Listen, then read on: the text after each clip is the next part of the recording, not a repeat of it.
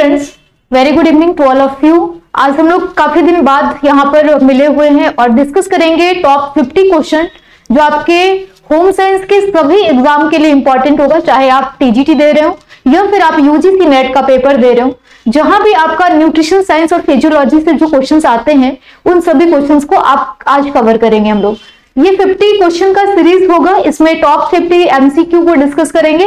और ये कुछ एमसीक्यू ऐसा होगा जो आपके अलग अलग टॉपिक से लिया गया है। कोई एक या दो टॉपिक से नहीं है मिसलिनियस टॉपिक से लिया गया है, जो कि इंपॉर्टेंट सेगमेंट होगा।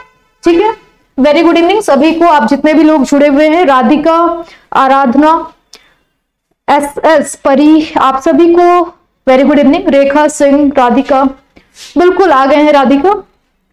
Thank you so much आप लोग इतना वेट करते हैं और आप लोग इतना अप्रिशिएट करते हैं। इसके लिए वेरी वेरी थैंक्स चलिए, आज डिस्कस करें। पहले क्वेश्चन को आप देख पा रहे होंगे क्वेश्चन नंबर और इसको थोड़ा सा ना सावधानी से आंसर देने की कोशिश करिएगा, क्योंकि जो क्वेश्चन लंबे होते हैं, इसका मतलब ये नहीं कि वो टफ होते हैं। ठीक है? इजी भी होते हैं। क्योंकि 50 क्वेश्चन है तो थोड़ा सा हम लोग स्पीडली डिस्कस करेंगे कंटेंट को भी और टॉपिक को भी। चलिए Neetu Yadav, Sonam Thakur very good evening सभी को। स्टार्ट करें क्वेश्चन नंबर वन देख पा रहे होंगे आप, अपमार्जित मैले कपड़ों में सरलता पूर्वक तेल एवं गर्द निकाल देते हैं। गर्द का मतलब होता है गंदगी को निकाल देते हैं। ठीक है? अब ये, देखो, कुछ क्वेश्चन ऐसे होंगे जो आपके कंटेंट को कितना आपने समझ पाया है अभी तक। इस चीज़ को इंडिकेट करेंगे। तो ये जब आप टेक्सटाइल पढ़ते हैं तो वहाँ से ये क्वेश्चंस आप रिलेट कर सकते हैं टॉपिक को कि अपमार्जित मैले कपड़ों से सरलता पूर्वक तेल या गर्द को निकाल देते हैं, अपमार्जित जल का पृष्ठ तनाव बढ़ा देते हैं। इसमें से राइट आंसर क्या हो जाएगा? और क्वेश्चन और कारण के माध्यम से बताना है आपको कि मैले कपड़े से सरलता पूर्वक तेल और गर्द को निकाल देते हैं क्योंकि क्योंकि कारण है तो आप यहाँ पर हमेशा मैं बताती हूँ, शब्द को जब भी कारण होगा तो यहाँ पर आप क्योंकि यूज़ करेंगे? क्योंकि अपमार्जक जल का पृष्ठ तनाव सरफेस टेंशन जिसको पृष्ठ तनाव कहते हैं सरफेस टेंशन को बढ़ा देते हैं। अब राइट आंसर आपको बताना है क्वेश्चन नंबर वन का। पूरा दिख नहीं रहा होगा, इसलिए अब मैं क्वेश्चन को हाइड कर दे रही हूँ। आंसर्स को देखिए और बताइए। ए तथा आर दोनों सही है आर ए का सही व्याख्या करता है। ए तथा आर दोनों गलत है आर ए की सही व्याख्या नहीं करता है। ए और ए सही है, परंतु आर गलत और लास्ट है ए गलत है, परंतु आर सही। सबसे मेन बात है कि ऑप्शंस अगर आप नहीं भी देखें तो क्वेश्चन के थ्रू आपको ये चीज़ समझना पड़ेगा कि जो अपमार्जक होता है, वो क्या होता है। अपमार्जक यानी कि जो आपके कपड़े को साफ़ करते हैं। अपमार्जक जैसे कि आपका सॉप हो गया या जो वॉशिंग पाउडर हो गया, है ना? वॉशिंग पाउडर निर्मा तो वो सारी चीज़ें आपको अपमार्जक के लिए काम आती है और अपमार्जक मैले कपड़ों से सरलता पूर्वक तेल एवं गर्द को निकाल देते हैं। अब ये बताना है कि ये राइट है या रॉन्ग है? अगर रॉन्ग है तो फिर क्यों है? राइट है तो क्यों है? अपमार्जक जल का प्रस्तुत तनाव बढ़ा देते हैं। अब यहाँ पर क्वेश्चन नंबर ए का जो राइट आंसर हो जाएगा वन का, सही जवाब जो होगा, वो ऑप्शन सी होगा। ए सही है, परंतु आर गलत है। क्योंकि अपमार्जित जो होते हैं, वो तनाव को बढ़ाते नहीं है, पृष्ठ तनाव को सरफेस टेंशन को कम करते हैं, जिसके वजह से क्या होता है कि वो जल में घुल जाता है आसानी से और एक जगह से गंदगी बाहर निकल जाती है। तो इसका राइट आंसर हो जाएगा ए तो सही है, परंतु आर गलत है। ए सही है का क्या मतलब हो गया यहाँ पर, ये भी हम जान लेंगे। ए सही है मतलब अपमार्जक जो होते हैं, वो मैले कपड़े को जो भी डस्ट या तेल या जो कुछ भी लगा होता है, उसको आसानी से रिमूव करने में, निकालने में सहयोग देते हैं। ठीक है वेरी गुड सभी का राइट आंसर आ रहा है. वन का अच्छा ए बोल रहे हो आप लोग. ए नहीं होगा बच्चे सी होगा. ठीक है, Sonam Thakur C one C one नहीं वन सी होगा. ठीक है? चलिए, दूसरे क्वेश्चन पे आते हैं. क्वेश्चन नंबर टू है. निम्नलिखित कथनों में से कौन सा सत्य है? इसमें सही कथन को बताना है कि कौन सा राइट क्वेश्चन ऑप्शन है. डी डीटी डीडीटी एक रोगाणु नाशक है जो आपसे बहुत बार एग्ज़ाम में पूछा हुआ है. ठीक है टीजीटी का तो फेवरेट क्वेश्चन है. तो डीडीटी जो है वो क्या रोगाणु नाशक है? दूसरा है टी एन टी एक कीटनाशक है। तीसरा है आरडीएक्स एक विस्फोटक है। और चौथा है एस एस डी एक विषाणु नाशक है। इसमें राइट आंसर बताना है क्वेश्चन नंबर टू का। फ़र्स्ट राइट आंसर जल्दी से दे दीजिए क्वेश्चन नंबर टू का सही जवाब क्या होगा? टू का राइट आंसर बताना है। आंसर कर दीजिए जल्दी से सभी लोग। और एक बार सेशन को लाइक और शेयर ज़रूर कर दे, क्योंकि काफ़ी दिन बाद हम लोग आज मिल रहे हैं तो बहुत लोग को नोटिफिकेशन भी नहीं मिल पा रहा होगा। ठीक है? अनुपम वर्मा, दो का सी बिल्कुल सही है कि यहाँ पर पूछा गया कि इनमें से कौन सा सत्य है? तो इसका राइट आंसर क्या हो जाएगा? क्योंकि ये यहाँ पे आरडीएक्स एक विस्फोटक है, आप लोग बार बार देखे होंगे, सुने होंगे कि आरडीएक्स क्या होता है? विस्फोटक है, जिसे बम वगैरह बनते हैं, पटाखे। तो उसमें आरडीएक्स या फिर बेसिकली अगर बात करें तो बम वगैरह में बम जो ब्लास्ट होते हैं, उसमें आरडीएक्स सुनते हो ना न्यूज़ में रहता है आरडीएक्स यहाँ से इतना किलो आरडीएक्स पकड़ा गया समथिंग इस तरीके से। तो ये आरडीएक्स क्या है? एक विस्फोटक है। तो ये इसका राइट आंसर हो जाएगा। बाकी सभी यहाँ पे गलत है। अब आपको यहाँ पे सही करना होगा कि डीडीटी एक रोगाणुनाशक है या फिर कीटनाशक है। तो इसका आ जाएगा डीडीटी का छिड़काव होता है क्योंकि ये कीटनाशक होता है। आपको पता है। इस तरीके से आपको कुछ मेहनत खुद से भी करना होगा, ठीक है? तो यहाँ पे राइट आंसर हो जाएगा सी आगे बढ़ेंगे। दूध उदाहरण है। किसका उदाहरण है? एक तुलसी का, पायस का, एक निलंबन का, एक फेन का। आंसर कर दीजिए क्वेश्चन नंबर थर्ड का राइट आंसर क्या हो जाएगा?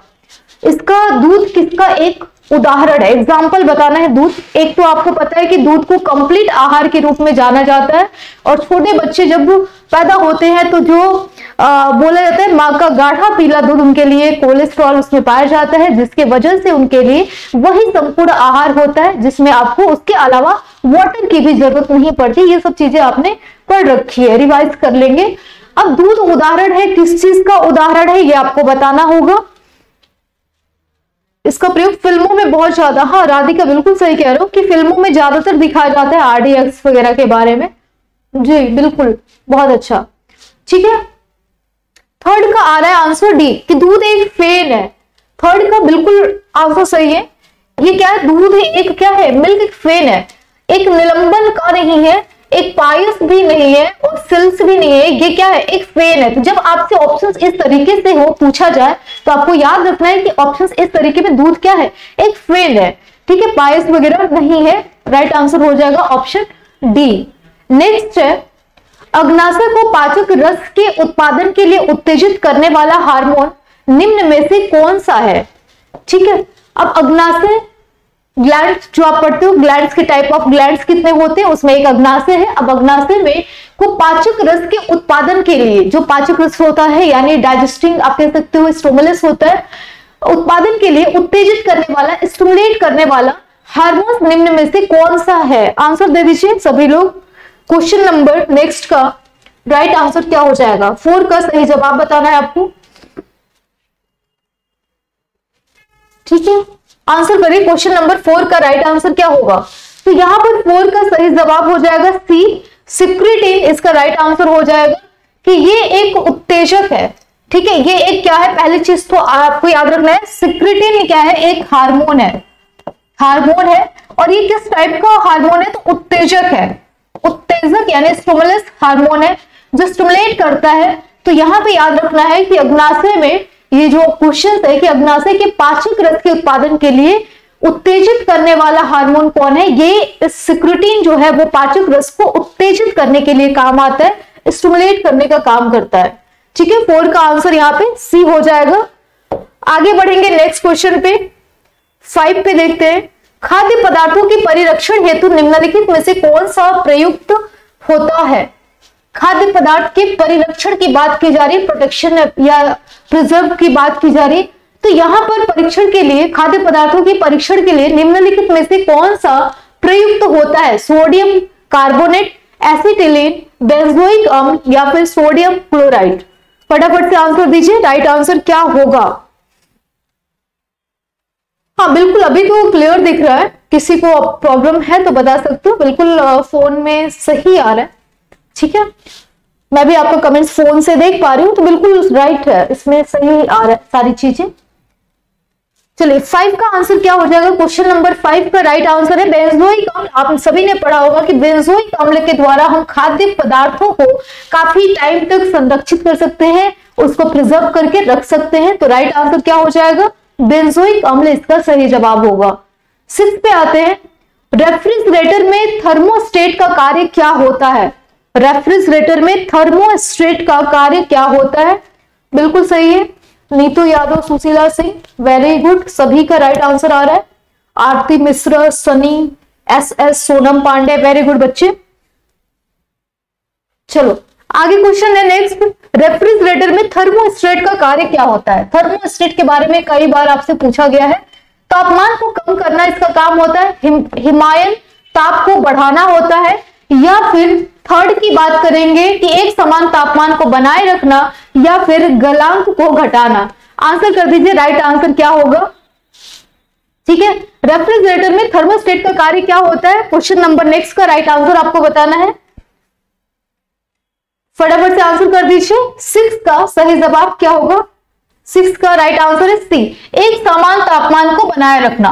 थर्मोस्टेट ही बोलते हैं इसको, यानी इसका काम तापमान को बढ़ाना या घटाना नहीं होता, वो तो आपका रेगुलेटर उसमें रहता ही है। लेकिन एक समान तापमान को बनाए रखने के लिए जिस चीज़ का प्रयोग किया जाता है, इसको बोला गया है थर्मोस्टेट तो कभी भी आपसे ये ना पूछकर सिर्फ़ ये भी पूछ दे कि थर्मोस्टेट का काम क्या होता है तो आपको ये बताना होगा कि थर्मोस्टेट का जो काम होता है, वो तापमान को मेंटेन करके रखना इसका मोस्ट इंपॉर्टेंट काम होता है। So right answer is option C यहाँ पर हो जाएगा। आगे बढ़ेंगे क्वेश्चन नंबर सेवन पे।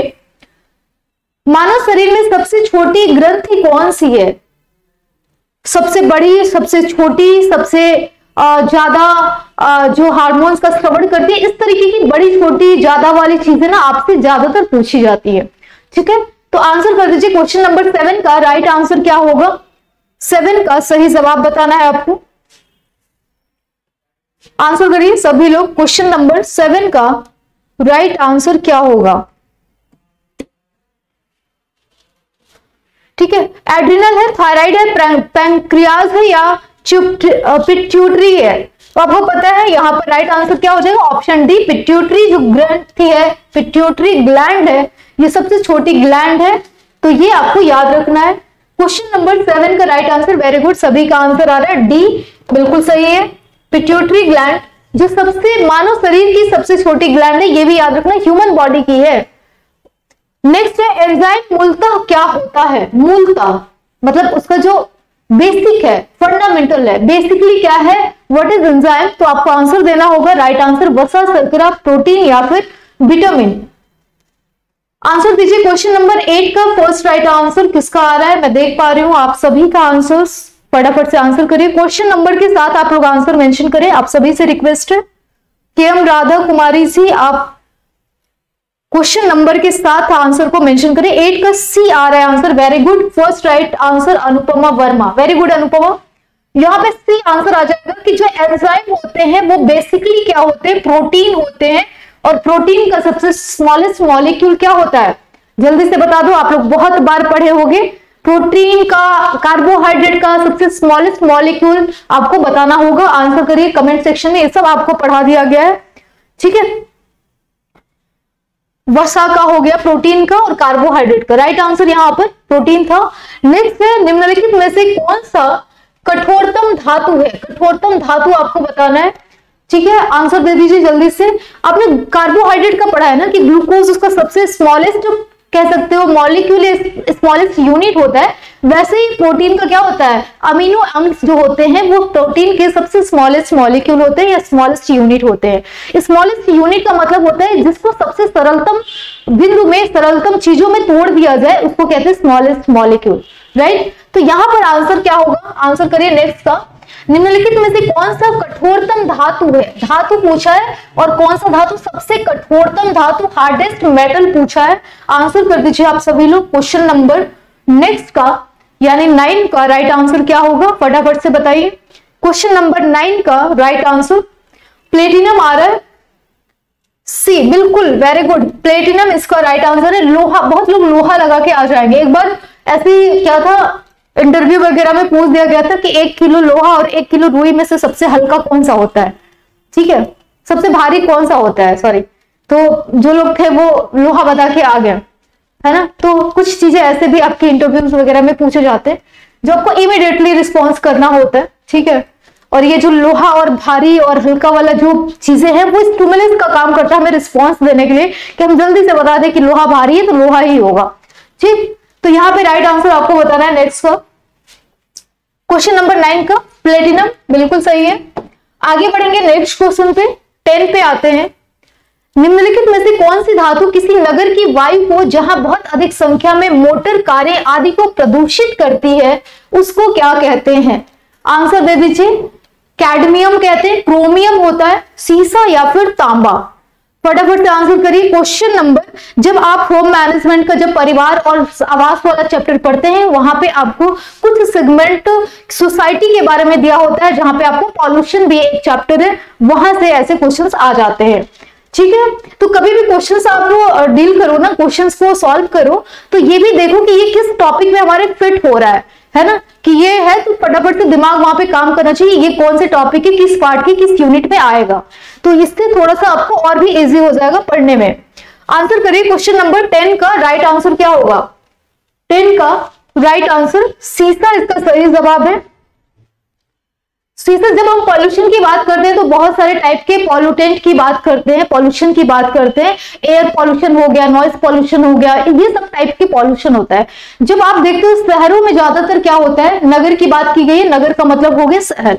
शहर में जो वायु को, जहाँ पर बहुत अधिक संख्या में मोटर कारें होती है, वहाँ पर जो प्रदूषित होता है, प्रदूषण होता है, वो क्या होता है, उसमें सबसे ज़्यादा इंपॉर्टेंट रोल होता है, वो शीशा का होता है। उसमें क्या होता है, इसके छोटे छोटे पार्टिकल्स होते हैं, जिसको कहते हैं ना कि जब आप पॉल्यूशन में जाए तो वहाँ पे आप ग्लव ग्लव्स कह रहे हैं। मास्क वगैरह पहन के रखें। क्यों? क्योंकि ये जो छोटे छोटे पार्टिकल्स होते हैं, ठीक है, ये एयर के साथ मिक्स होकर आपके श्वसन क्रिया, श्वसन नली के माध्यम से शरीर में एंटर करते हैं और आपको क्या करते हैं? रोग से अलग अलग रोग से ग्रसित कर देते हैं। तो यहाँ पे राइट आंसर हो जाएगा सीसा नेक्स्ट है क्वेश्चन नंबर ग्यारह। निम्नलिखित में से कौन एक कीट के शरीर से निकला स्राव है? ये तो बच्चे बहुत बार पढ़े होंगे। अब ये मत पूछता कि ये कौन से सेगमेंट में फिट बैठेगा मैम क्योंकि ये टेक्सटाइल में जब आप रेशम पढ़ते हैं तो वहाँ पर आपको ये क्वेश्चंस मिल जाता है। ठीक है? आंसर दे दो जल्दी से। सीमा मौर्य। सीमा जी, आज बहुत दिन बाद हम लोग दो तीन दिन का गैप हो गया था क्लासेस में। शेड्यूल थोड़ा सा क्योंकि ऑफलाइन बैचेस भी चलना स्टार्ट हो गया एप्लीकेशन पे तो उसमें थोड़ा सा टाइम ज़्यादा लग जा रहा था। इस वजह से क्लासेस अभी दो तीन दिन नहीं हो पाई। तो यूजीसी नेट और टीजीटी पीजीटी सभी के एप्लीकेशन पे बैचेस स्टार्ट हो चुके हैं। तो वहाँ भी आप ज्वाइन कर सकते हैं। तो यहाँ पर एक दो दिन का गैप हो जाता है जनरली अगर देखें तो। ठीक है? और इसीलिए आपका दो तीन दिन जो गैप हुआ है तो मैंने सोचा कि क्यों ना आपके गैप को मेंटेन किया जाए। इसलिए टेन और ट्वेंटी नहीं टोटल फिफ्टी क्वेश्चन के थ्रू आपके साथ मिले हुए हैं। ठीक है, आंसर करते रहिए आप सभी लोग। नेक्स्ट क्वेश्चन का राइट right आंसर क्या होगा? Question number eleven. इसमें कौन सा एक शरीर से निकला स्राव है? मोती, मूंग, लाख या फिर बूंद आंसर कर दो। क्वेश्चन नंबर ग्यारह का राइट आंसर क्या हो जाएगा? लाख लाख होता है, जिसके द्वारा इससे बहुत सारी चीज़ें निर्मित की जाती हैं। ठीक है, लाख अब यहाँ पर देखो, गोंद, मूंग, गोंद क्या होता है? ये पेड़ का एक पेड़ के द्वारा निकलता है, पौधे से प्राप्त होता है। मूंग मूंग है, मूँगा नहीं है, इसलिए आप इसको कंसिडर नहीं करेंगे। मोती भी इसका आंसर नहीं होगा, लाख होगा। या फिर अगर यहाँ पर लाख ना हो कि कोकून होता कोकून तो भी आप इसको कह सकते हैं कि कोकून के कीड़े से निकला या कोकून से निकला हुआ जिससे आप रेशम प्राप्त करते हैं, ये अलग चीज़ है, लाख अलग है, रेशम अलग है, ठीक है? बट अगर यहाँ पर है तो ये लाख आंसर होगा। अगर इनमें से कोई ऑप्शन और होता और वहाँ पर कोकून होता कि कोकून नाम के कीड़े से कौन सा स्त्राव से कौन सी चीज़ें प्राप्त होती हैं तो आप रेशम भी कह सकते थे, ठीक है? तो यहाँ पे राइट आंसर हो जाएगा लाख, इसका राइट आंसर है। नेक्स्ट है, कार्य का मात्रक क्या है? कार्य का मात्र क्योंकि आप सोच रहे होंगे, ये तो फिजिक्स या किसका क्वेश्चन है ज्योग्राफी का क्वेश्चन है, दोनों ही है, क्योंकि दोनों ही अल्टीमेट देखे तो फिजिक्स ही है। तो ये क्वेश्चन वहाँ पर है, लेकिन आपके होम साइंस में कहाँ पे फिट होगा? तो जब आप कार्य सरलीकरण पढ़ते हैं वर्क सिंप्लीफिकेशन करते हैं तो वहाँ पर प्रीवियस ईयर में भी आपसे पूछा था ना, याद होगा आपको, पिछले बार टीजीटी में ही पूछा था कि जो कार्य के न्यूनतम जो मापक है आधुनिक टाइम में, वो कौन सा है? तो पाथवे चार्ट वगैरह जब पढ़े थे, हम लोग अभी एप्लीकेशन पे पढ़े हैं तो वहाँ पे डिटेल सारे यूनिट्स को हमने देखा था और पढ़ा भी था।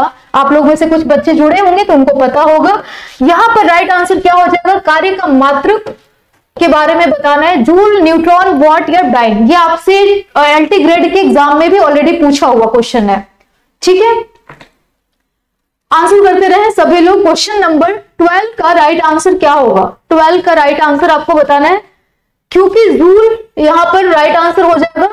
और कार्य का मात्रक क्या है? जूल कभी कभी आपको और भी चीज़ें यहाँ पर मिल जाती है कि कार्य का मात्रक। या फिर एक बार आपसे पूछ लिया था कि ऊर्जा का मात्रक शायद आपसे पूछा था, है ना? ऊर्जा का एनर्जी का। तो वो भी कुछ कुछ ऐसे यूनिट्स हैं जो आपको याद रखना है एग्ज़ाम के लिए। ठीक है? नेक्स्ट आते हैं क्वेश्चन नंबर थर्टीन पे। पोलियो का वायरस शरीर में प्रवेश करता है। किसके थ्रू प्रवेश करता है? अब देखो पोलियो से तो आपको एक बॉक्स बना के ना, जहाँ भी आप नोट्स प्रिपेयर करते हैं, वहाँ पे एक बॉक्स बनाइए। पोलियो से रिलेटेड सभी चीज़ की, पोलियो का वैक्सीन कब बच्चे को लगाया जाता है, पोलियो की शुरुआत कब हुई, पोलियो के जो टीका है, उनका नाम क्या है, पोलियो मुक्त कौन कौन से कंट्री है लेटेस्ट कंट्री कौन सा पोलियो मुक्त हुआ है, पहला कौन हुआ था, भारत का क्या रोल है तो ये कुछ आठ दस पॉइंट है ना, ये आपको खुद से प्रिपेयर करना है, ठीक है?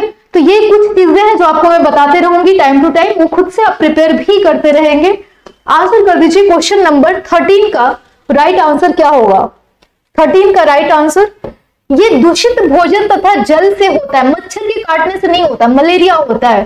थूक क्या है? थूक का मतलब हो गया कि जब आप संक्रमित हैं तो जो भी वाहक होंगे, वो कीटाणु, विषाणु जो होंगे, वो थूक के माध्यम से हवा में मिक्स होकर कहीं भी किसी को संक्रमित कर सकते हैं, वो अलग हो जाएगा। कुत्ते के काटने पे आप सभी को पता है, यहाँ पर वाटर से डर लगता है, पानी से डर लगता है, जिसको क्या बोलते हैं फोबिया बोलते हैं ना वाटर फोबिया कुछ ऐसा नाम है तो वो अलग चीज़ें हो जाती है। अब यहाँ पर दूषित भोजन और जल, अब देखो पोलियो भी दूषित भोजन और जल से होता है। प्रीवियस ईयर की बात करें, आपसे हैजा भी पूछ लिया था बच्चे, कि हैजा किससे होता है तो उसमें दो ऑप्शन था, एक था दूषित भोजन और दूसरा था दूषित भोजन और दूसरा था दूषित जल, जिसमें बहुत लोगों ने दूषित भोजन लगा के आ गए थे, जो राइट आंसर कमीशन ने माना था, वो दूषित जल को माना था। लेकिन जब आप बुक पढ़ते हैं, किसी भी पब्लिकेशन का वहाँ पे लिखा होता है कि हैजा दूषित भोजन और दूषित जल से होता है, बहुत टाइम तक ये डिबेट भी रहा कि कमीशन को दोनों ही आंसर को मानना चाहिए। लेकिन जो मुझे मेरा ऑब्जर्वेशन है कि उन्होंने जल को क्यों माना भोजन को क्यों नहीं माना कंसिडर किया। तो एक चीज़ आपको यहाँ पे थोड़ा सा ध्यान रखना होगा कि जो भी चीज़ें हमारे शरीर में बहुत ही क्विकली मिल जाता है मिक्स हो जाता है, या जो हमें तुरंत एनर्जी या सारी चीज़ें प्रोवाइड करता है, उसको ज़्यादा हम कंसिडर करते हैं। जैसे भोजन और जल, भोजन क्या है? भोजन नाम से ही लग रहा है, एक ठोस भी हो सकता है, द्रवित भी हो सकता है, लेकिन जल तो एज अ लिक्विड ही आप प्रयोग करते हैं।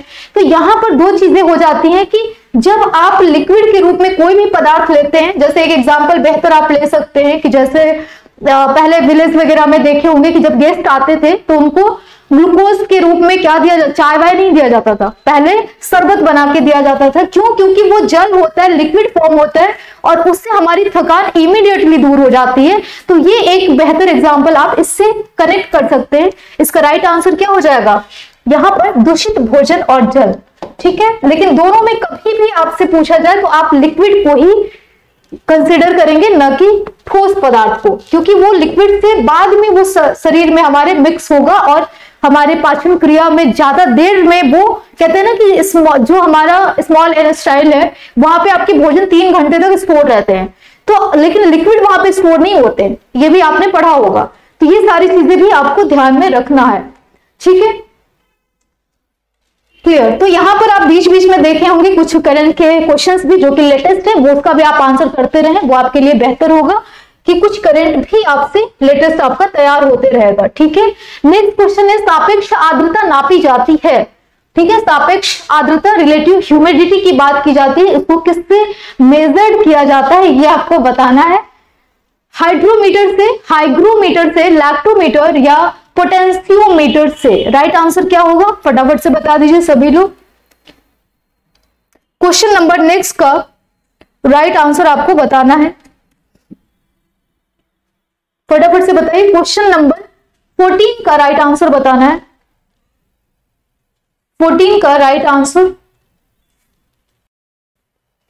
hydrometer Sudha Sharma fourteen का बी बिल्कुल राइट आंसर है सुधा अब यहाँ पर बी आंसर है हाइग्रोमीटर आर्द्रता की बात की जा रही है, सापेक्ष आर्द्रता, यानी कि रिलेटिव ह्यूमिडिटी आप पूछेंगे रिलेटिव ह्यूमिडिटी क्या है? Is a part of water का जो हम अलग अलग टाइप्स पढ़ते हैं, जहाँ पे वाटर को गैस के फॉर्म में पढ़ते हो सॉलिड फॉर्म में पढ़ते हो, पूछा भी जाता है आपसे कि जो बर्फ़ होता है सॉलिड फॉर्म होता है, वो क्या होता है? कार्बन डाइऑक्साइड होता है हाइड्रोजन होता है, क्या होता है ना? तो इस तरीके से वो कार्बन डाइऑक्साइड का एक सॉलिड फॉर्म होता है आप ऐसे कंसिडर करते हैं। वैसे रिलेटिव ह्यूमिडिटी है यानी कि जब हम किसी चीज़ में एक आर्द्रता को सापेक्षित यानी उससे मैच करते कि इस वायु में कितनी आर्द्रता है और दूसरे वाले में कितनी ह्यूमिडिटी है यानी कि जब हम एयर से कंपेयर करते हैं या फिर आप ऐसे भी कह सकते हैं कि जो आ, किसी भी पार्ट से जब हम किसी चीज़ को कंपेयर करते हैं जैसे हवा में कितनी ह्यूमिड है जो मॉइस्चर है तो उस चीज़ को हम रिलेटिव करते हैं, यानी कि सापेक्ष के बात करते हैं अलग अलग चीज़ों में। ठीक है?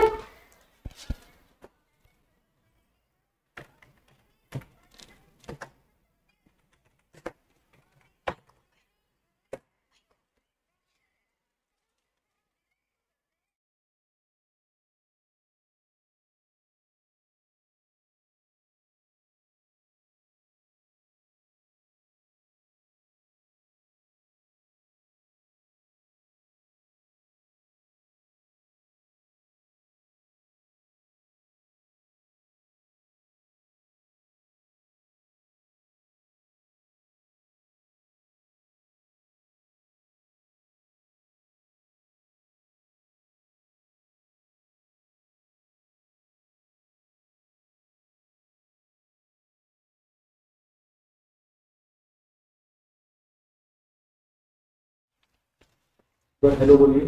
हेलो हेलो, हाय।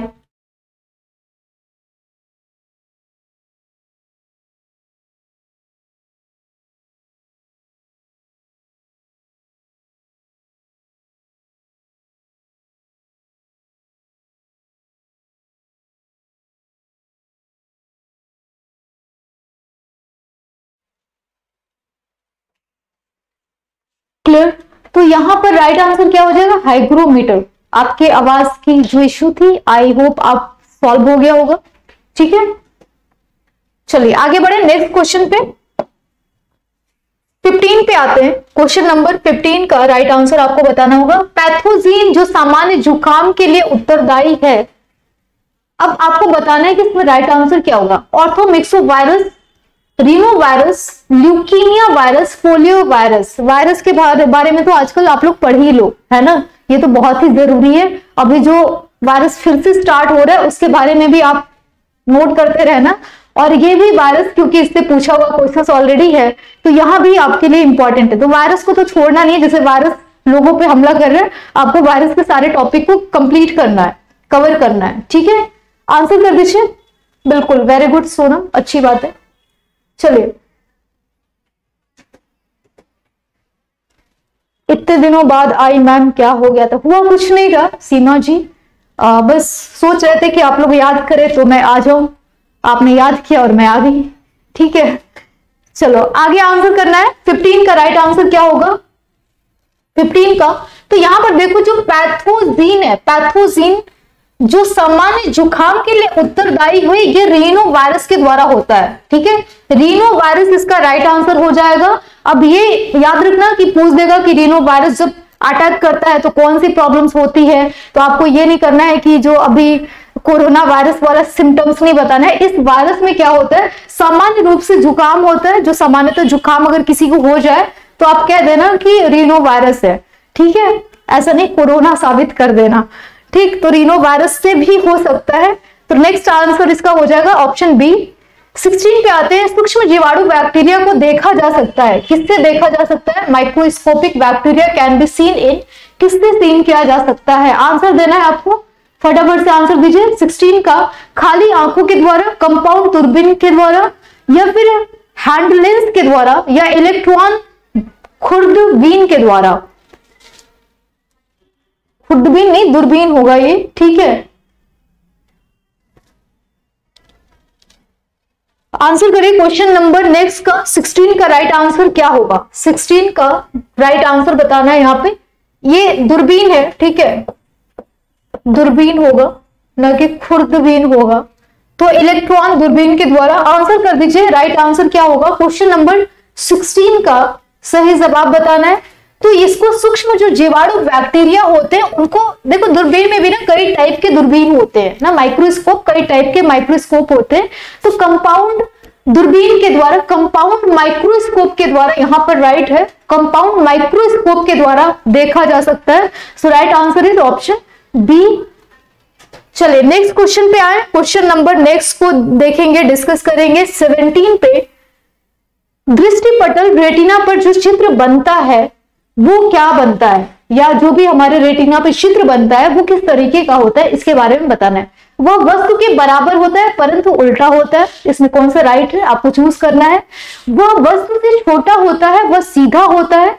तीसरा है वह वस्तु से छोटा होता है वह उल्टा होता है। और लास्ट है वह वस्तु के बराबर होता है और सीधा होता है। आंसर कर दीजिए क्वेश्चन नंबर नेक्स्ट का। 16 का 17 का राइट आंसर क्या है? क्वेश्चन नंबर 17 का राइट आंसर बताना है आपको। 17 का राइट आंसर अब यहाँ पे देखो, जो दृष्टि पटल रेटिना है, रेटिना पे जो इमेज बनता है, वो क्या होता है? सी ऑप्शन सही होगा। वो वस्तु से छोटा होता है, वो उल्टा दिखाई देता है, ठीक है? तो क्वेश्चन नंबर 17 का राइट आंसर क्या है? सी इसमें होगा। अब यहाँ से देखो क्वेश्चंस कौन कौन से पूछे जाते हैं। एक तो रेटिना से पूछा जाता है। दूसरा आपका एक लेंसेस होते हैं ना, उसके बारे में क्वेश्चंस आपसे पूछे जाते हैं। ठीक है? फिर लेंस के थ्रू आपको बहुत दो तीन पॉइंट्स याद रखना है। आइस से रिलेटेड यहाँ पर जब आप विटामिन ए पढ़ना कि विटामिन ए की कमी से कौन कौन से रोग होते हैं, उसके सीक्वेंसेस आपके यूजीसी नेट के एग्ज़ाम में पूछे जाते हैं कि पहले क्या होता है, फिर बाद में क्या होता है, फिर लास्ट स्टेज क्या होता है विटामिन ए की कमी से। और जब वहीं पे पढ़ना ना ए तभी आप ये पॉइंट भी नोट कर लेना बॉक्स बना के नोट करके। तो ये सारी चीज़ें भी आप साथ ही साथ यहाँ पर नोट्स भी प्रिपेयर करते रहोगे, ठीक है? पोलियो का टीका सबसे पहले तैयार किया, किसने तैयार किया? पॉल एहरलिच ने, जॉन सॉल्क ने, लुइस पैस्टर पैस्टर ने, जोसेफ लिस्टर ने। राइट आंसर क्या होगा? क्वेश्चन नंबर 17 18 का राइट आंसर बताना है आपको। 18 का सही जवाब क्या होगा?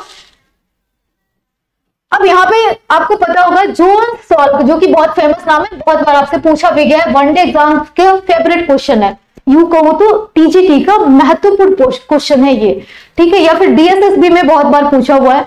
तो पोलियो का टीका सबसे पहले तैयार किया था जून सॉल्क ने। इसमें और कुछ जानने वाली चीज़ नहीं है। आप जल्दी से आंसर में कमेंट सेक्शन में आप बता दीजिए। अगर आपकी तैयारी बहुत बेहतरीन चल रही है तो बता दीजिए कि भारत क्या पोलियो मुक्त है या नहीं है? या दूसरा क्वेश्चन आपका ये रहेगा कि पोलियो अभियान भारत में कब शुरू किया गया? ठीक है? इन दो क्वेश्चन का आंसर आप फटाफट से कमेंट सेक्शन में दीजिए। तब तक हम लोग नेक्स्ट क्वेश्चन को यहाँ पे डिस्कस करेंगे। धूप के चश्मे की पावर होती है। जो धूप में चश्मा लगाते हैं ना, बहुत लोग जो हीरो या हीरोइन बनते हैं ब्लैक ब्लैक चश्मा लगाते हैं। हमारे यहाँ बहुत लोग लगा के आते हैं। देखोगे जैसे थोड़ी धूप हुई नहीं कि काला चश्मा निकल जाता है। ठीक है? लोगों का। तो यहाँ पर इसका राइट आंसर बताना है आपका कि उसका जो पावर होता है ब्लैक चश्मे का ब्लैक चश्मा या धूप का चश्मा? ठीक है, दोनों एक ही चीज़ है। तो यहाँ पे राइट आंसर बता दीजिए फटाफट से। इसकी पावर क्या होती है? ज़ीरो डायप्टर होती है वन डायप्टर होती है। अब यहाँ पर एक चीज़ आपको समझ में आ जानी चाहिए कि जो डायप्टर है, वो पावर का मेज़रमेंट है। ठीक है, अब ये बताइए कि इसमें क्या होगा? राइट आंसर क्या होगा? आंसर करिए फटाफट से। क्वेश्चन नंबर 19 का सही जवाब आपको बताना है। 19 का राइट आंसर क्या होगा? ऑब्वियसली बात है, धूप का है पावर ओवर से कोई लेना देना है नहीं। एज इट इज़ आपके आँखों पे कोई इफ़ेक्ट ना आए इसके लिए तो ज़ीरो डायोप्टर इसका राइट आंसर हो जाएगा। ऑप्शन ए सही जवाब है। ठीक है? चलिए आंसर करते रहिए, बिल्कुल।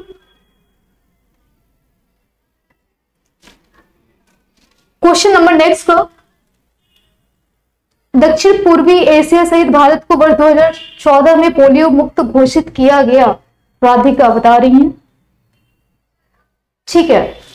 नेक्स्ट आते हैं क्वेश्चन नंबर नेक्स्ट पे ट्वेंटी पे। लेटेस्ट का बताना, आप लेटेस्ट का एक बार सर्च कर लेना। आई थिंक अफ्रीका का कोई कंट्री है, एक बार देख लेना, उसको लेटेस्ट डेटा भी आप तैयार कर लेना, ठीक है? कि अभी हाल फ़िलहाल में कौन पोलियो मुक्त घोषित हुआ है। पहला वाला पूछ लेता है, भारत के सेंस में पूछ लेता है, और पोलियो का टीका किसने बनाया? पोलियो का खुराक कब दिया जाना चाहिए? पाँच, छह क्वेश्चन से जो आपके पोलियो से पूछे जाते हैं। हृदय की धड़कन नियंत्रित करने के लिए निम्न में से कौन सी खनिज आवश्यक है? ठीक है, आंसर दे दीजिए। खनिज कौन सी आवश्यक है? अब यहाँ पे अगर खनिज नहीं होता तो बहुत लोग बहुत आंसर दे सकते थे। ठीक लेकिन यहाँ पर चूँकि खनिज को ऐड कर दिया है तो आप कुछ और डायरेक्शन में नहीं जा सकते। सिर्फ़ यहाँ पे मिनरल्स के बारे में ही सोच सकते हैं। तो सोडियम है, गंधक है पोटेशियम है या फिर लोहा है। हृदय की धड़कन को नियंत्रित करने के लिए कौन सा इसमें कारगर है? आंसर कर दो जल्दी से। अब ये मत कह देना कि मेरा तो कोई और ही है जो हृदय के धड़कन को नियंत्रित करता है है ना? क्योंकि ऐसी चीज़ें होती भी हैं। फैक्ट भी है, लेकिन यहाँ पे चूँकि अफसोस की बात है कि मिनरल्स पूछ दिया है सो सैड बट चीज़ें वही है। आंसर कर दो जल्दी से। फटाफट से आंसर कर दो। क्वेश्चन नंबर ट्वेंटी का राइट आंसर क्या होगा? पोटेशियम इसका सही जवाब है। अब सोडियम मत कर देना। सोडियम से क्या होता है? आपकी जो हृदय की धड़कन है, वो तेज हो जाती है। ठीक है? या फिर कह सकते हो, ये बीपी के लिए कि सोडियम का उपयोग जब हम करते हैं, जब हमारा बीपी डाउन होता है तो आप देखे होंगे डॉक्टर सजेस्ट करते हैं कि आप नमक और चीनी का घोल पी लीजिए, ताकि आपका ब्लड प्रेशर सही हो जाए।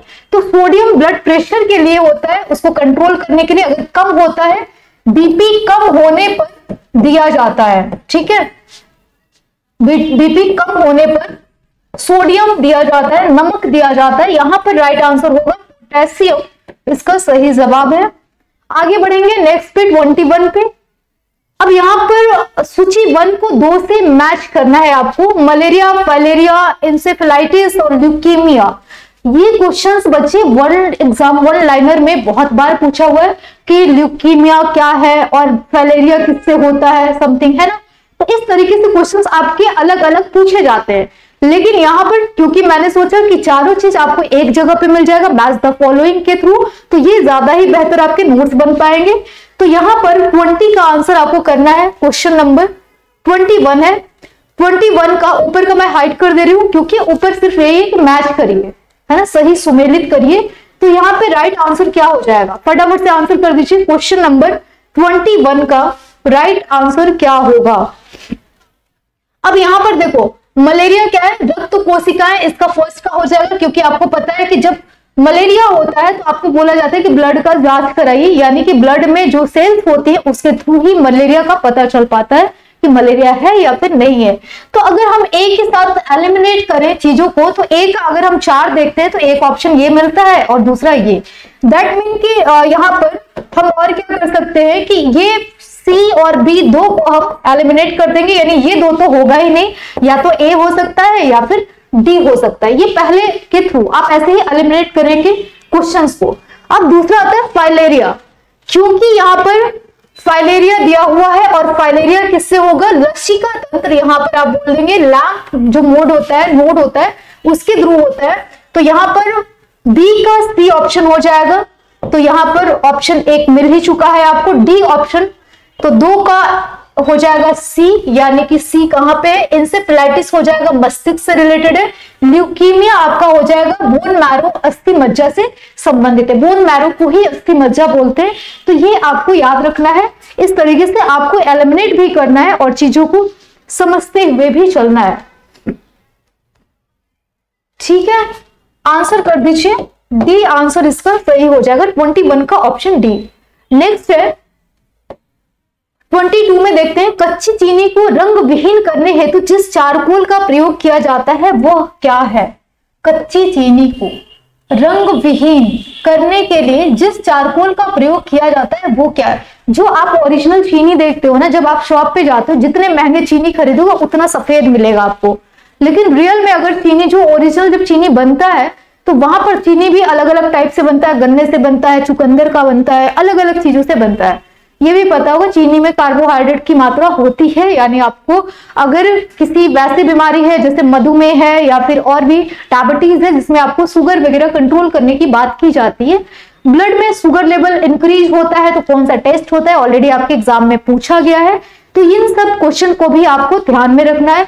अब यहाँ पर बात करते हैं कि कौन सा चारकोल का प्रयोग किया जाता है, यहाँ पर, यानी चीनी को सफ़ेद दिखाने के लिए आप ऐसे भी इसको समझ सकते हैं। लकड़ी का चारकोल, चीनी का चारकोल, एनिमल का चारकोल, नारियल का चारकोल। 22 का राइट आंसर क्या हो जाएगा? आंसर कर दीजिए।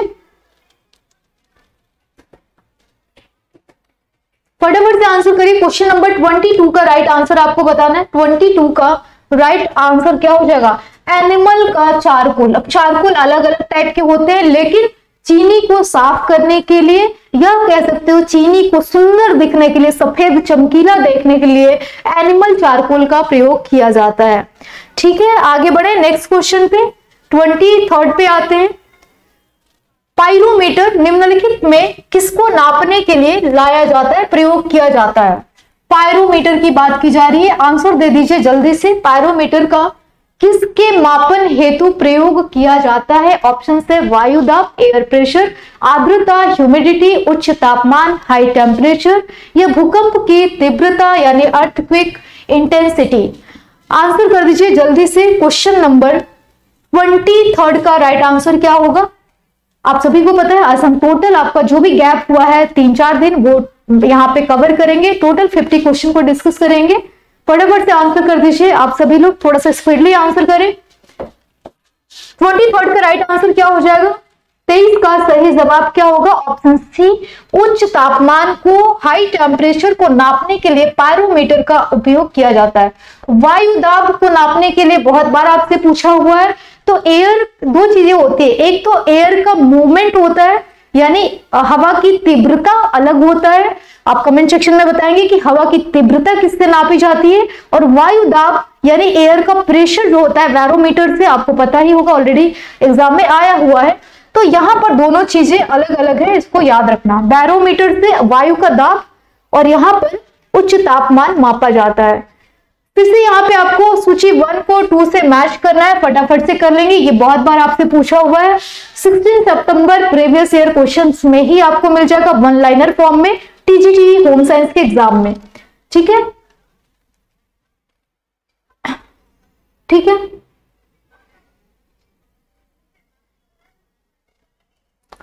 अब कोई कह, प्रीति कह रही है, शाकाहारी को चीनी? चीनी भी खानी चाहिए, मैम। सोच लो, आपके हाथ में डिसीज़न है। अब एनिमल चारकोल का प्रयोग किया जाता है उसको शुद्ध करने के लिए। आज के बाद मत खाना। ठीक है? तो खा भी सकते हो। मैं मना नहीं करूँगी और मैं रोकूँगी भी नहीं और मैं कहूँगी भी नहीं, आपके ऊपर डिपेंड है हम सिर्फ़ ये बता सकते हैं कि इसमें एनिमल चारकोल मिलाया जाता है। ठीक है? आंसर कर दीजिए। क्वेश्चन नंबर 24 का राइट आंसर क्या होगा? 24 का सही आंसर आपको बताना है। यहाँ पर देख लेते हैं, सबसे पहले है विश्व तपेदिक दिवस। अभी अभी की लेटेस्ट की बात करेंगे एड्स दिवस जो कि मनाया गया है, एक दिसंबर को। तो यहाँ पर बी का आंसर हो जाएगा ए और अगर देखेंगे बच्चे बी के आंसर में ए सिर्फ़ वन में ही है तो यहाँ पे राइट आंसर क्या हो जाएगा? एक ही क्वेश्चन से आप एलिमिनेट कर देते हैं और सही इतने बड़े क्वेश्चन को लगता है कि बहुत बड़ा है, बहुत टफ है, लेकिन छोटा सा क्लू अगर आपको मिल गया तो इजी हो जाता है क्वेश्चन सॉल्व करना। तो यहाँ पर क्योंकि एड्स दिवस, अब हो सकता है आपसे एड्स दिवस का थीम भी पूछ ले तो ये आपका एक्स्ट्रा नॉलेज है जो आप तैयार कर सकते हैं खुद से। ठीक है? विश्व तपेदिक दिवस क्या हो जाएगा? ए का आ जाएगा फोर यहाँ पर, यानी कि विश्व तपेदिक दिवस 26 मार्च को। एड्स दिवस हो गया आपका एक दिसंबर को। कुष्ठ निवारण दिवस आपसे पूछ लेता है दो का सी यानी कि 30 जनवरी को। और अंतरराष्ट्रीय ओजोन दिवस, जो कि बार बार आपसे पूछा गया है 16 सितंबर, इसका राइट आंसर हो जाएगा। ऑप्शन ए यहाँ पर करेक्ट आंसर हो जाएगा। नेक्स्ट है थाइमिन क्या है? थाइमिन को क्या कहते हैं? जैसे आप पढ़ते हो ना vitamin A B B complex और ये सारी चीज़ें तो आपको इसी में बताना है कि थाइमिन क्या है। कुछ ऐसे ही आपको, जैसे क्वेश्चन आज हम डिस्कस कर रहे हैं बच्चे, वैसे ही आपको एग्ज़ाम में भी मिलेगा। कुछ बड़े क्वेश्चंस मिलेंगे, कुछ ऐसे वन लाइनर क्वेश्चन मिलेंगे जल्दी जल्दी में क्या होता है? क्वेश्चन आप गलत कर देते हो। प्रैक्टिस ज़रूरी है, ये चीज़ ध्यान रखना। ठीक है? आंसर करिए क्वेश्चन नंबर ट्वेंटी फाइव का राइट आंसर क्या हो जाएगा? ट्वेंटी फाइव का विटामिन बी वन का नाम क्या है? थायमिन आपको पता होगा विटामिन बी वन का नाम ऑलरेडी मैंने क्लासेस में कराया। जब हम विटामिन पढ़ा रहे थे, आप लोग को फ्री क्लासेस वहाँ पर मैंने विटामिन बी कॉम्प्लेक्स के सभी को बताया था B one B two B six B twelve और उससे कमी होने वाले रोग, उसके जो नाम है, वो भी सारी चीज़ें हमने ऑलरेडी डिस्कस कर रखी है। यहाँ पे सिर्फ़ आपको प्रैक्टिस करना है, कौन सा का क्या राइट आंसर होगा। निम्नलिखित में से कौन सा सुमेलित नहीं है या सिंपल सा बोल दिया जाए तो कौन सा गलत है? मैनोमीटर, दाब, कार्ब्यूरेटर, आंतरिक दहन इंजन, कार्डियोग्राफ, हृदय गति, सिस्मोमीटर, पृष्ठ तनाव की वक्रता, इसमें से कौन सा गलत है ये आपको बताना है। 26 का राइट आंसर क्या हो जाएगा? देखो, यहाँ पर मैनोमीटर, दाब का मापक है। कार्ब्यूरेटर, आंतरिक दहन इंजन, ये भी आपसे पूछा गया है ऑलरेडी कार्डियोग्राफ कार्डियोलॉजी जिसको पूछा गया है आपसे अलग अलग एग्ज़ाम में कि कार्डियोलॉजी किसका आ, वहाँ पे ट्रीटमेंट किया जाता है तो हृदय से रिलेटेड है कार्डियो तो जब भी कार्डियो शब्द आ जाए सीधे सीधे आप हृदय के साथ चले जाएँगे। जो गलत है वो है सिस्मोमीटर यहाँ पे ये पृष्ठ तनाव नहीं होगा। ठीक है? पृष्ठ तनाव यानी relative humidity sorry relative tension की बात होगी यहाँ पे। पृष्ठ तनाव सरफेस टेंशन होगा सॉरी यहाँ पे सरफेस टेंशन पृष्ठ तनाव लिखा होगा। ठीक है। चलो, आगे बढ़ेंगे। डी ऑप्शन यहाँ पे गलत होगा, बाकी तीनों सही है। नेक्स्ट है क्वेश्चन नंबर ट्वेंटी सेवन गोल क्रीमी निमेटोड से होने वाला रोग कौन सा है? बहुत बार अलग अलग भाषा में इसको पूछा जाता है, ठीक है? कभी कभी इसको सिर्फ़ क्रीमी करके भी पूछा गया है आपके एग्ज़ाम में एल्टी ग्रेड अगर प्रीवियस ईयर उठा के देखेंगे तो यहाँ पे गोल क्रीमी निमेटोड से होने वाले रोग कौन से? फाइलेरिया है फ्लोरोसिस है इंसेफ्लाइटिस है, या फिर कुष्ठ रोग है?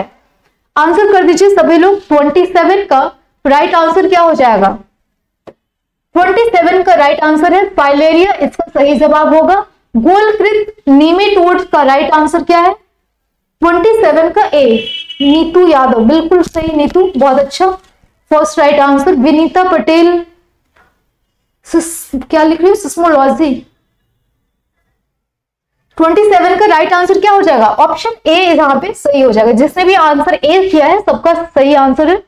नेक्स्ट है, मनुष्य के अंगों में से हानिकारक विकिरण से सबसे कम, ये याद रखना, सबसे कम की बात पूछी गई है। प्रभावित अंग क्या है? सुप्रभाव्य अंग या फिर प्रभावित होने वाला अंग? सिंपल तो अगर इसको सिंप्लीफाई करें तो जो सन के रेडिएशन से जो हमें इम्पैक्ट पड़ता है हमारे शरीर पे तो कुछ है जो ज़्यादा इम्पैक्ट पड़ता है, जैसे स्किन है, जो सबसे तेज़ी से सबसे ज़्यादा प्रभावित होता है, और सबसे कम पूछा गया है कि जो सबसे कम प्रभावित होता है, वो अंग कौन सा है? आंसर करिए क्वेश्चन नंबर ट्वेंटी एट का। राइट आंसर क्या होगा? आँख, हृदय, मस्तिष्क व फेफड़ा। आपने अधिक वाला तो बहुत बार पढ़ा है और पूछा भी है, कम वाला अभी तक एग्ज़ाम में नहीं आया है। जो आ सकता है। 28 का आंसर बता दीजिए। 28 का आंसर क्योंकि मस्तिष्क इससे सबसे लास्ट में प्रभावित होगा। आँख, हृदय और फेफड़ा। और सर्वाधिक की बात करें, सर्वाधिक तो आपकी क्या हो जाती है? स्किन यहाँ पर सर्वाधिक प्रभावित होती है। तो ये आपको याद रखना है। नेक्स्ट आ जाएँगे 29 पे। यहाँ भी ऊपर मैं हाइड कर दूँगी क्योंकि ऊपर सिर्फ़ इतना लिखा हुआ है कि आपको सुमेल करना है, सही सुमेलित करना है। यहाँ पर आपको कूट के माध्यम से सही प्रयोग करके बताना है कौन सा सही सुमेलित है। क्वेश्चन नंबर 28 का 29 है। 29 का राइट आंसर क्या होगा, ये बताना है। ठीक है? विटामिन बी को आपको बताना है। बी वन है यहाँ पे, इसको थोड़ा सा यहाँ पे ऐड कर लेना। Vitamin B one twenty one magnesium right होगा रॉन्ग होगा। हीमोग्लोबिन कोबाल्ट क्लोरोफिल तांबा पीतल लोहा यहाँ पर कौन सा मैचिंग सही होगा? आंसर कर दीजिए। क्वेश्चन नंबर नेक्स्ट का राइट आंसर क्या होगा? ट्वेंटी नाइन का राइट आंसर आपको बताना है। ठीक है? यहाँ पर ऑप्शन ए सही होगा। ये थोड़ा सा इसको इधर करना होगा। आ, ये थोड़ा सा यहाँ पर देख लेते हैं। ये वाला राइट होगा यहाँ पर। ए का दो होगा, यानी विटामिन बी जो होगा कोबाल्ट इसका राइट होगा। बी का फोर होगा हीमोग्लोबिन जो कि लोहा राइट आंसर होगा इसके साथ। मैच होगा। उसके बाद सी का वन होगा क्लोरोफिल मैग्नीशियम और पीतल के साथ तांबा यहाँ पे राइट आंसर हो जाएगा। ठीक है, ये ऑलरेडी पूछा हुआ है आपसे एग्ज़ाम में। और ये एक बार नहीं, कम से कम तीन से चार बार सेम क्वेश्चंस को सेम पैटर्न ऑप्शंस भी नहीं चेंज किया है। एज इट इज़ पूछा गया है आपके एग्ज़ाम में। ठीक है? चलिए नेक्स्ट क्वेश्चन है। क्वेश्चन नंबर थर्टी को देखेंगे। जब रक्त में ऑक्सीजन की सांद्रता में कमी आती है तो श्वास की गति पे क्या प्रभाव पड़ता है? जब रक्त की ऑक्सीजन में सांद्रता की कमी आती है, जब रक्त में रक्त में ऑक्सीजन की सांद्रता की कमी आती है तो श्वास की गति कम होती है, बढ़ जाती है, परिवर्तित नहीं होती, पहले घटती है और फिर बाद में बढ़ती है। आंसर दे दीजिए क्वेश्चन नंबर थर्टी का राइट आंसर क्या होगा? तीस का सही जवाब बताना है। थर्टी का बी बिल्कुल सही, बढ़ जाती है, बहुत अच्छा।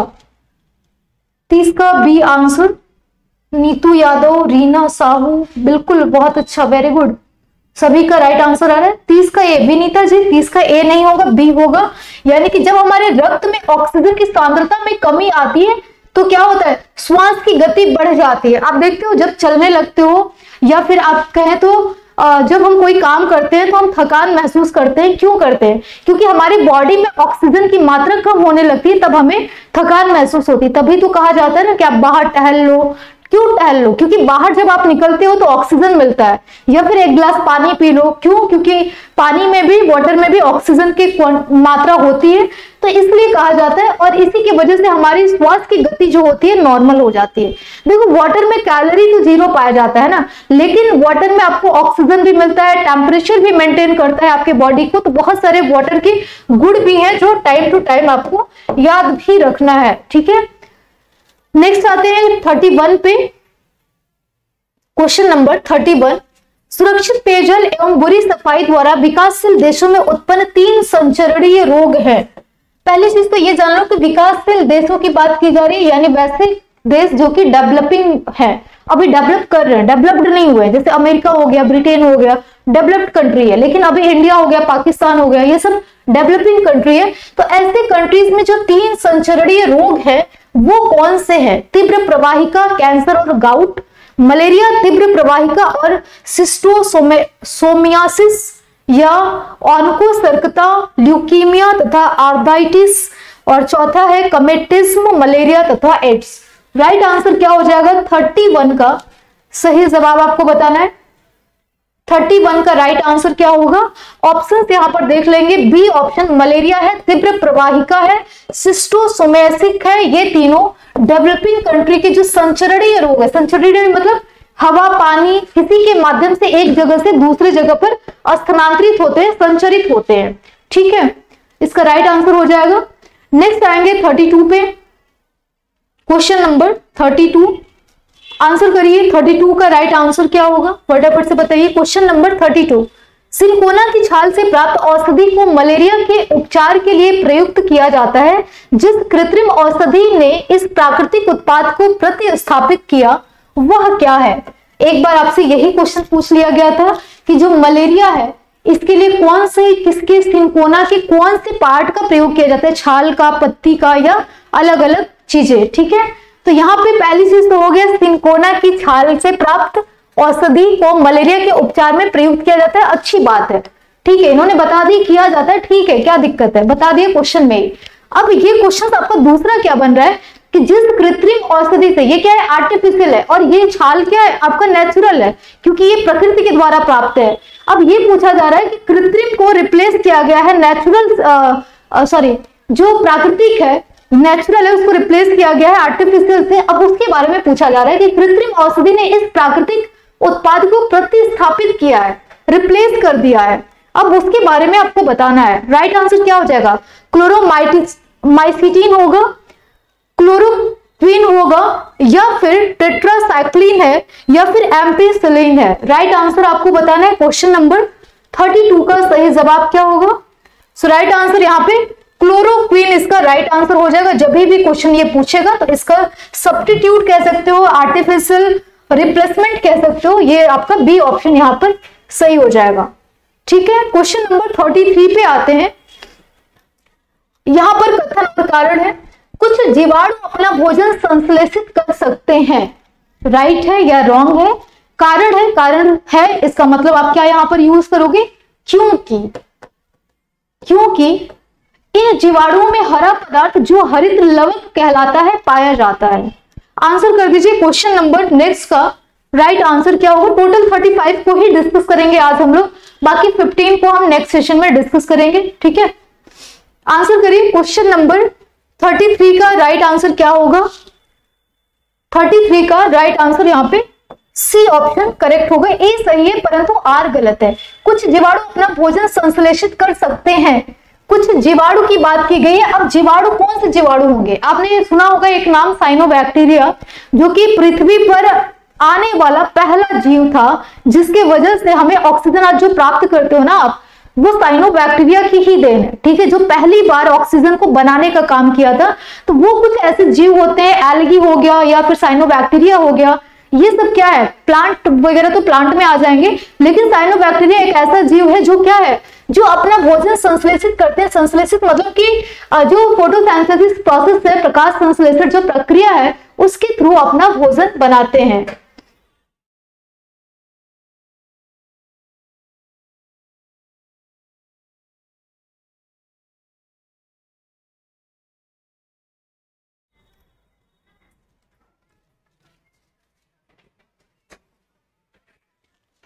यहाँ पे राइट आंसर क्या हो जाएगा? तो पहला वाला तो ऑप्शन सही है दूसरा क्या है? इन जीवाणुओं में हरा पदार्थ जो हरित लवक कहलाता है, पाया जाता है। कोई ज़रूरी नहीं कि उसमें हरे, हरित लवक पाया जाए, है ना? क्योंकि कुछ जीवाणु जो अपने भोजन स्वयं बनाते हैं, कोई ज़रूरी नहीं कि उसमें हरित लवक की प्राप्ति हो या पाया जाए। तो ऑप्शन यहाँ पे क्या हो जाएगा? सी ऑप्शन यहाँ पे हो जाएगा कि ए तो सही है, सही बात है, लेकिन बी क्या है? गलत है। आते हैं थर्टी फोर थर्टी फोर कहाँ गया? थर्टी फोर गायब है क्या? क्वेश्चन नंबर थर्टी थ्री के बाद थर्टी फोर गायब है। कोई बात नहीं, थर्टी फाइव है। नंबरिंग यहाँ पे थोड़ा सा अलग हो गया, लग रहा है। ठीक है?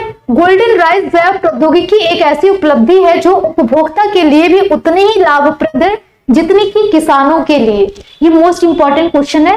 थॉट के थ्रू इसको आपको क्लियर करना है। इस चावल का पीलापन बीटा कैरोटीन की अधिक मात्रा को प्रदर्शित करता है, जो यौगिक के शरीर में विटामिन ए से परिवर्तित होता है। आंसर इसका बताना है, इसका राइट आंसर क्या होगा? क्वेश्चन लेंदी है, इसलिए मैं इसका आंसर आपको खुद ही बता दूँगी। ट्वेंटी फाइव थर्टी फाइव का राइट आंसर जो होगा, वो यहाँ पर बी है। ठीक है? थर्टी फाइव का राइट आंसर क्या है? बी होगा यानी ए और आर दोनों सही है, परंतु आर ए ही सही व्याख्या नहीं करता। इस चावल का पीलापन बीटा कैरोटीन की अधिक मात्रा को प्रदर्शित करता है, जो यौगिक के शरीर में विटामिन ए परिवर्तित करते हैं। ये इसका राइट आंसर हो जाएगा। दोनों सही है, लेकिन एक दूसरे की व्याख्या नहीं करता है। यहाँ पर राइट आंसर हो जाएगा। ठीक है, इस सीरीज़ को हम लोग कल कंटिन्यू करेंगे। और आज के लिए फ्रेंड्स इतना ही। मिलते हैं आपसे कल के सेशन में। यही थर्टी फोर थर्टी फाइव से ही कंटिन्यू करेंगे इसको और पंद्रह क्वेश्चन हम बाकी के कल डिस्कस करेंगे आप लोगों से। ठीक है? तो आज के लिए इतना ही। कैसा लगा आपको सेशन बताइएगा। तो मिलते हैं नेक्स्ट क्लास में आपको कल की क्लासेस में फिफ्टीन क्वेश्चन के साथ। आज के लिए इतना ही। Thank you thank you so much